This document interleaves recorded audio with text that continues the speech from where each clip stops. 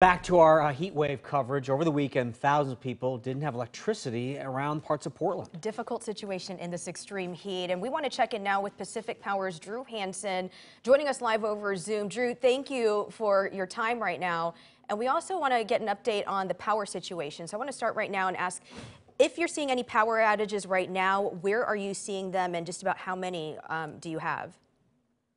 Yeah, thanks for having me here. So currently we're seeing several localized outages, uh, one in the Portland metro area that's impacting about 600 customers, and then another down uh, in the Medford area that's impacting about a thousand customers. So crews are have been dispatched uh, and they are out there working as quickly as possible to restore service.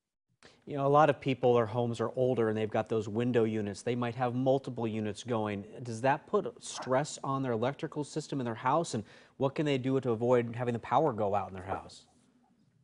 I can't really speak uh, specifically to the individual home, but I can say from a, a, a power supply perspective, you know, talking about the whole grid, uh, we're looking pretty good in that uh, we don't anticipate any uh, service interruptions due to heat or anything like that um, because you know when it is sweltering outside there as you noted there are a lot of uh, homes we're kind of in our peak time right now. So peak demand kind of correlates with the the peak uh, heat of the day and you know folks are getting off work and going home. But you know we can provide assurance that from a power supply perspective we're not anticipating any sort of interruption um, at, a, at a supply level Drew, is it worth uh, customers considering that your crews out there have to deal with this heat as well? Is that going to be a factor when, you know, everybody wants their power back on ASAP, but they can't move that fast when it's so hot? So tell us about what they're doing to stay safe and then what they're kind of, what work they're doing outside.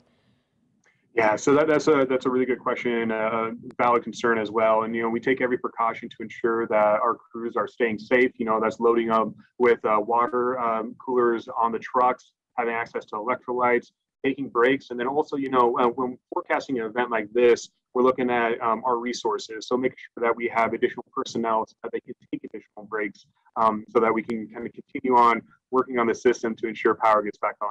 All right, thank you. I know it's a difficult situation for everybody. Drew Hanson with Pacific Power, thank you. Yeah,